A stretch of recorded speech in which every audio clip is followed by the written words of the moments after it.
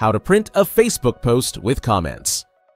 Social media sites are digital by nature, a place to post stories, photos, and comments where presumably they'll be left forever online. However, direct printing captures only fragments and PDFs face the same issue, often missing comments. After a data leak affecting half a billion users, some people may also just want to leave the site. To capture everything from a photo to the post itself, plus every comment, Facebook users need extra steps, regardless of post ownership.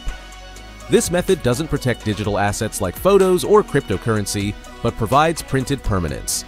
Here's how. Open your Facebook account and navigate to the post. Click the three dots in the top right corner and select Save Post.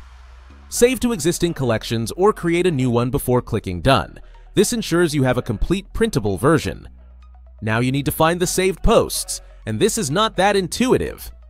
After clicking See More on the left rail of the main Facebook page, scroll to Saved marked by a purple flag. Click here to open all your saved posts. Open the post you wish to print, ensuring all comments are visible by repeatedly clicking View Previous Comments until it vanishes.